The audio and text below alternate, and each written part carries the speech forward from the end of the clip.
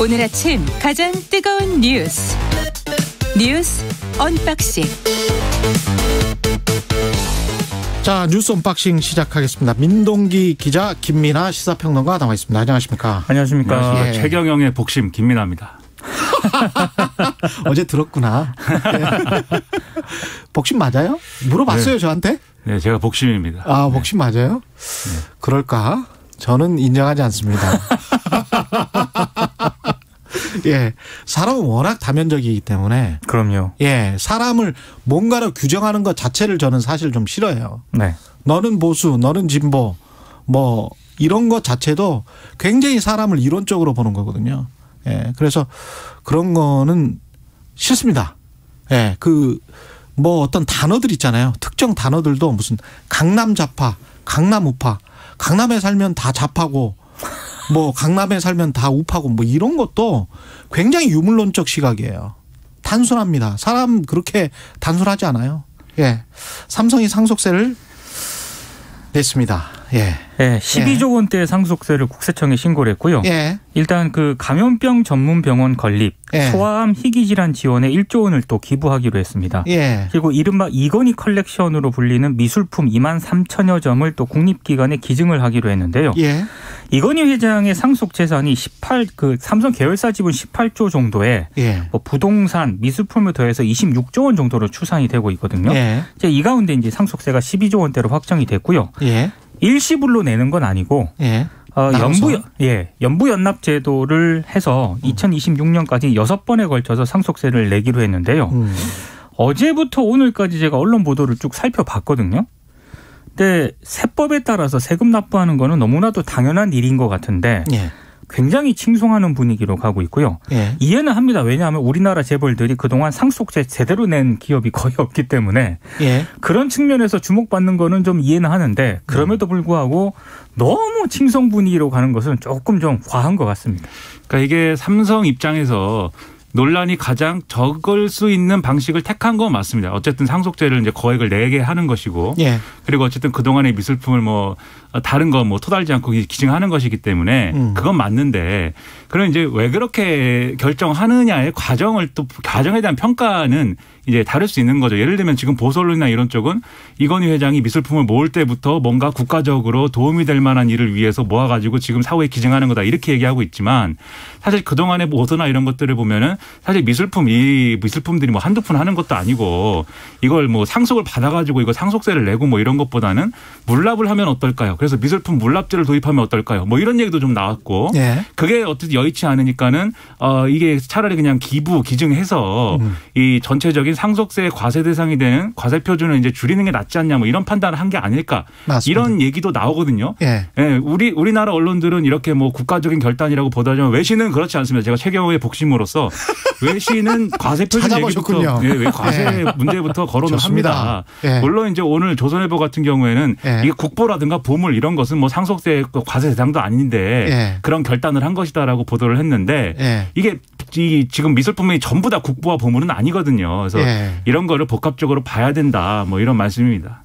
저는 그 언론 헤드라인들을 보니까 되게 웃겼어요. 이건희 재산 60% 사회 환원. 이렇게 헤드라인을 많이 잡았더라고요. 네. 그러니까 한 50% 이상은 그냥 상속세를 낸 건데 아, 세금 낸 겁니다. 그냥. 60% 사회 환원이라고 하면 뭔가 60%를 그냥 공으로 사회에 그냥 기부한 것 같은 그러면서 뒤에 점점점 하고 통큰 기부 이렇게 써놓은 거예요. 그러니까 다 기부한 것처럼 보이는 거지 60%를 그러니까 상속받은 재산 중에 예. 60%를 어, 뭔가 사회에 기여하는 방식으로 해소했다 이건데 그 예. 60%에는 당연히 지금 말씀하신 것처럼 상속세가 그럼 포함되는 겁니다. 그러면. 그렇죠. 예. 예. 그건 내야 될 세금인 것이죠. 그러니까 내야 될 세금 거기다가 우리가 이제 저도 사회에 엄청난 기여를 하고 있습니다. 세금 많이 많이는 아니구나. 뭐 좀 냅니다. 저도. 그렇죠. 우리도 꾸준히 세금을 내고 있는데 통시적 방법과 공시적 방법을 이럴 때는 적용을 항상 하잖아요. 네. 그래서 아 지금 기업들 세금 잘 안 내니까 잘 낸 것 같다. 통시적으로 봤을 때는 삼성이 그러면 지금 3대째 내려오고 있는 거지 않습니까? 그렇죠. 그러면 그 선대 때 냈는가? 네. 아, 제가 조사를 해보니까 175억 원 냈습니다. 음. 이병철에서 이건희로 넘어갈 때 175억 원 냈는데 그때 어떤 식으로 빠져나갔는가? 공익재단을 통해서 다 그 주식을 줘버렸거든요. 한국 재벌의 흔한 수법이죠. 예. 그래서 이제 나중에 세법이 야 그렇게 하면 안 돼. 그러면서 막았던 거예요. 그러고 나서 이렇게 여러 방면으로 막고 나니까 낼 수밖에 없는 거거든. 아니 그리고 좀 정확하게 말을 해야 될것 예. 같은데요. 이번에 그 사회 사회 환원이라고 하는 게 예. 원래 그 삼성 비자금 사태가 2008년에 불거지지 않았습니까? 그렇습니다. 그때 이건희 회장이 대국민 사과문을 내면서 음. 여러 가지 쇄신 방안을 냈거든요. 그 차명 재산이었거든요. 그렇습니다. 사실은 이병철 선대회장에서 이건희 회장으로 넘어왔을 때 그때 차명으로 불법으로 은근슬쩍 파킹했던 돈들입니다. 그래서 그 차명. 재산 중에서 예. 누락된 세금 등을 납부하고 남은 것을 유익한 일에 쓰겠다라고 대국민 발표를 하거든요. 그렇죠. 근데 이거를 지금까지 제대로 안 지켰다가 예. 이제서야 뒤늦게 이제 지킨 건데 음. 그런 부분에 대해서도 언론들이 좀 언급을 해줘야 되는데 방금 음. 뭐 김민하 평론가라든가 예. 진행자께서 얘기한 것처럼 음. 어, 굉장히 뭐 구국의 결단처럼 이렇게 보도를 하는 것은 너무 지나친 감이 있는 것 물론 같습니다. 그 지적을 하는 언론도 뭐 없진 않습니다. 있긴 예. 있는데 이제 주요 언론들이 이제 좀 그런 네. 부분은 미진한 것 같고 그다음에 같이 나오는 지적이 이제 상속 세율에 대한 이제 지적이 있어요. 우리나라가 세계 최고의 이제 상속 세율이다. 음. 그래서 이렇게 삼성이 엄청난 상속세를 내게 됐다.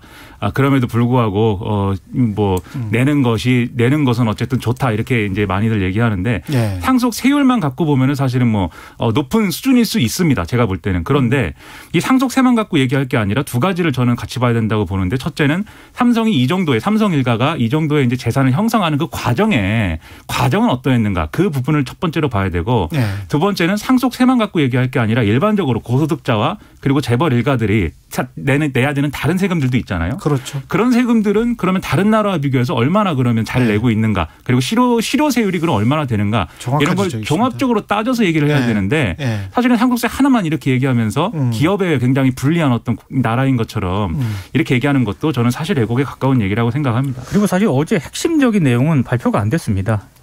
어떤 내용이었죠? 이건희 회장이 보유한 주식을 앞으로 어떻게 분할할 것인가, 아, 어떻게 분배할 것인가? 분배할 것인가가 나와야 되는데 음. 여기에 대해서는 구체적으로 언급을 안 했거든요. 예. 그래서 언론들의 해석은 또 두 가지로 나뉘더라고요. 예.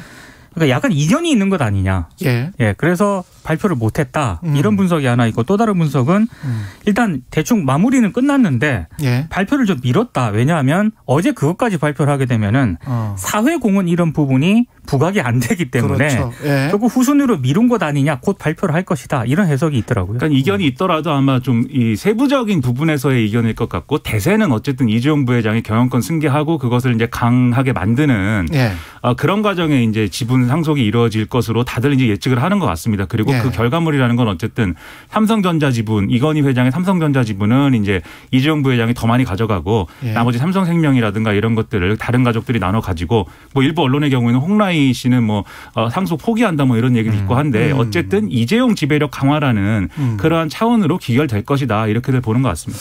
황규님은 미술품 기증하면 전세가 되는 줄 몰랐네요. 그렇게 말씀하셨고요. K7584님은 삼성 광고비 때문에 기사 좋게 내주는 거 아닌가요? 이런 말씀하셨는데 제가 성북동이나 평창동에 재벌 그, 그 다음에 준 재벌들 저택을 가보면 있잖아요. 어떤 집은 집 자체가 미술관으로 등록이 돼 있습니다. 어, 그러면 그래요? 그러면 절세를 또 할 수 있습니다. 이게 아주 좋은 절세 방법인데요. 그래서 친지들이랄지 가족들이랄지 뭐 친구들을 불러서 한 1년에 세네, 세네 번 정도 뭐 전시회를 했다. 음, 실제로 집에 이제 고급 미술품들이 많이 있고요. 네. 그렇게 하면 아 여러 가지 혜택을 세제 혜택을 받을 수 있습니다. 예.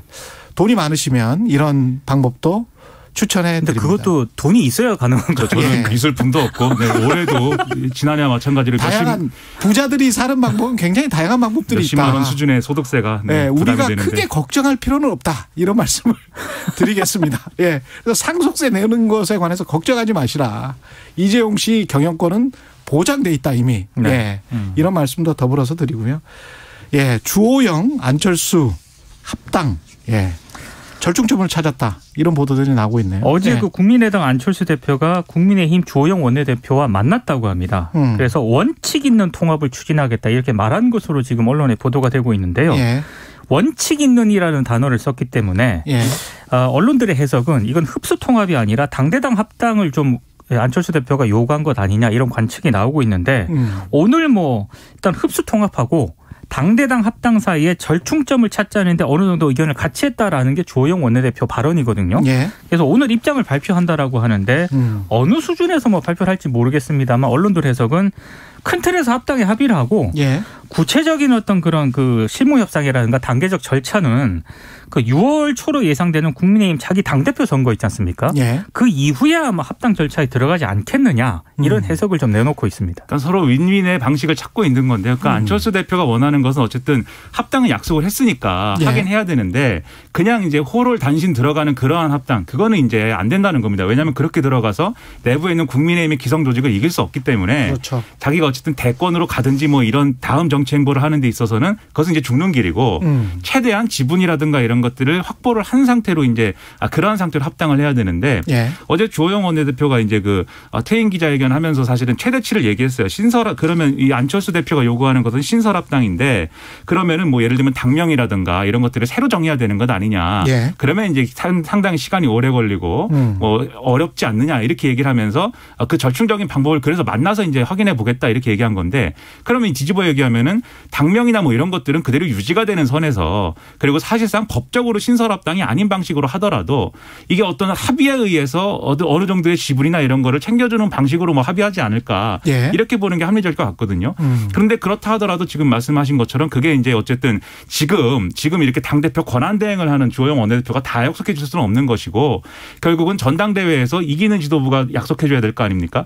그런데 어쨌든 안철수 대표와의 통합 논의는 지금 주호영 원내대표가 하고 있잖아요. 예, 지도부 선거에 나갈지 안 나갈지를 지금 확실하게 얘기하고 있지 않지만 음. 주호영 원내대표가 전당대회 출마할 때 안철수 대표와의 통합론은 상당히 본인에게 도움이 되겠죠. 음, 그 오늘 언론 보도가 재밌는 게 예, 에, 만약에 이견이 안 좁혀지지 않습니까? 예, 그러면 안철수 대표가 다시 대선 출마를 모색을 할 것이다. 이런 식으로 이제 따로 국민의당으로. 예. 그러니까 국민의당으로 뭐 혼자서 이제 대선 출마를 모색을 할 것이다라는 어떤 그런 해석을 또 그게- 슬쩍 붙이기도 하더라고요. 예. 대선 출마는 어떤 방식으로든 시도를 할 것으로 저는 보는데 예. 다만 이게 국민의힘하고 어떻게 좋은 관계로 이제 하느냐. 그렇죠. 근데 결과적으로는 국민의힘을 포함한 보수 정치, 이 범보수의 후보로 나가야 될 거거든요. 그 그렇죠. 방법 외에는 없습니다. 예. 거기까지 가는 과정이 뭐냐는 건데 음. 그래서 주호영 원내대표하고 좋은 그림으로 이제 합의해서 가느냐 아니면 밖에서 힘으로 자기 완력으로 이걸 이끌어내느냐 이두 가지 방법인데 음. 사실 완력이랄 게 그렇게 없잖아요. 그렇죠. 여기서 조력을 요구할 만한 사람이 윤석열 전 총장입니다. 그래서 아. 윤석열 전 총장을 지렛대로 해서 뭔가 시도해 보는 거 아니냐라는 게- 이 축도 있는데 그게 혼자만의 생각으로 될 건 아니거든요. 그 윤 총장 또 물어봐야 되죠. 그렇죠. 그래서 이게 막 2단계, 3단계로 이게 예. 윤석열 전 총장의 마음은 관계없이 안철수 예. 대표가 윤석열 전 총장 얘기를 하면서 예. 국민의힘을 우회 압박하면서 뭐 예. 이런 그림으로 또 가겠다는 거 아니냐 이런 얘기 나오는 거죠. 뭐 꼭 그렇게 될 것 같지는 않은데. 예. 근데 국민의힘 입장에서 봤을 때는 또 윤석열 말고 혹시 또 그 plan B가 필요할 수도 있기 때문에 네. 안철수 국민의당 대표를 데리고 오는 게 그래도 plan B 입장에서는 그래도 카드 하나를 더 쥐는 거니까 네. 그게 안전하지 않을까요? 근데 지금은 입장에서는 지금은 전당대회 때문에 자기들끼리 굉장히 정신이 없는 국면이기 맞습니다. 때문에 예. 이런 긴 계획을 지금 세울 수가 없는 상황입니다. 아, 그래서 그래요? 이게 전당대회용 이벤트가 그냥 대부분 말 확률이 지금 있고 예. 실질적인 것은 지금 민 기자님 말씀하신 대로 음. 지도부를 새로 뽑은 다음에 이제 본격적으로 진행이 될 것으로 생각이 됩니다. 알겠습니다. 뉴스 unboxing 여기까지 하겠습니다. 민동기 기자 한 예. 저는 김민하 김민하입니다. 네. 시사평론가. 복심. 네. 예. 깜짝 놀랐습니다. 복심의 이름도 모르시고. KBS 일라디오 최경영의 최강시사 듣고 계신 지금 시각은 7시 37분입니다. 예. 목요일 출근